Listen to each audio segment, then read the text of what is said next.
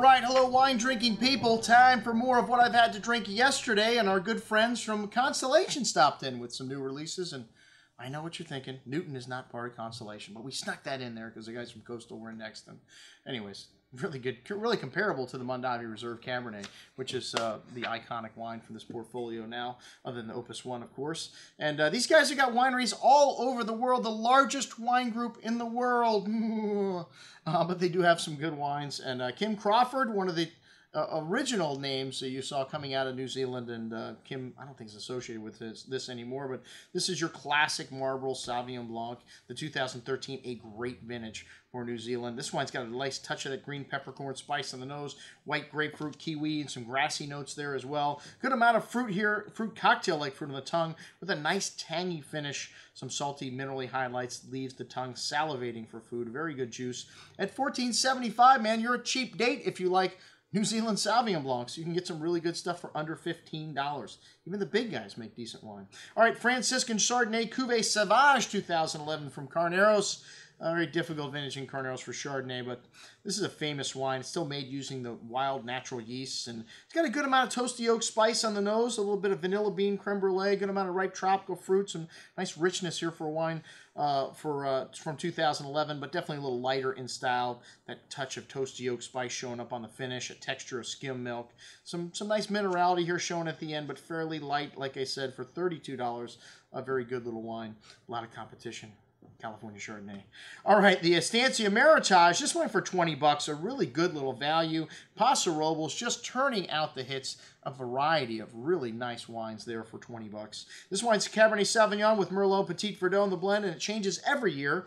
And uh, the vineyard sources have changed over the years for this wine. It wasn't Paso Robles originally. And uh, this wine's got a good amount of fine herbs here on the nose and a light minty note to the currant and cherry uh, kind of plum fruit there. A soft and drinkable style on the tongue uh, with some of that herb and some of that spice showing up next to the red berry and currant fruit on the finish. A very good little wine, though, at $20. A very drinkable style and a real crowd pleaser. The Mondavi Carneros Reserve, 61.25. Ooh, wow, I can almost get the Cabernet Reserve for that much. Anyways, this one's got a good amount of spice here on the nose, some pretty floral notes the raspberry and strawberry fruit, some fresh earth, but the focus here really on the on the light red berry fruit, and a nice amount of spice here on the tongue, some pretty floral notes. Silky smooth tan. It's light but pleasant finish. It's just a little bit, uh, expecting a little more for that price. Anyways, and then, then you show Mark West, St. Lucia Highlands after that? Think we should have shown the Mark West first. Maybe even before the Sauvignon Blanc.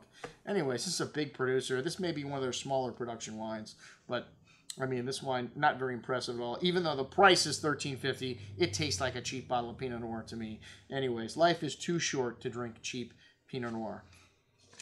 All right, next we have the Mondavi Reserve Cabernet. Hoo-ah, this is 100% To Kalon fruit, one of the greatest vineyards in Napa, and this is a big wine, the 2010, a classic year, showing a good amount of dark currant, and dark berry fruit in the nose. Notes of coffee, some fresh, loamy, earthy notes, dark chocolate, herbs, some minty notes to the dark berry fruit. A very firm wine on the tongue. This wine, these 2010s are going to need some time. A solid core of dark cherry, dark uh, cassis fruit, uh, that cocoa and loamy, earth, the earthy notes showing through on the finish, but a firm hand of acidity is what you notice here. This wine's very well built, needs some time.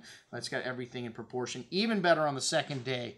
Most excellent juice. 124.50 yeah you can find it on sale for 89.95 bucks under 100 bucks still and then the newton the puzzle this is uh, one of the iconic wines of Napa. The first wine Michel Rolland, I believe, worked for, and uh, it's a blend of all the Bordeaux varietals um, except Merlot. They took the Merlot for some reason. All estate fruit. This wine is a little monster, of the 2010, as I mentioned before, and really big vintage dark currant, cassis fruit on the nose, dark chocolate, sweet tobacco spice, a nice hand of fresh plowed earth here also. This wine is big but still balanced. A lot of acidity here, but lots of everything. This wine needs a little time, even better on the second day. Also, most excellent juice and, and under 100 bucks, 96.75. That's what we had to drink with our friends from Constellation and Newton. I'm your host, Andrew Lampasone, signing off for the Wine Watch, saying remember, always drink the good stuff first.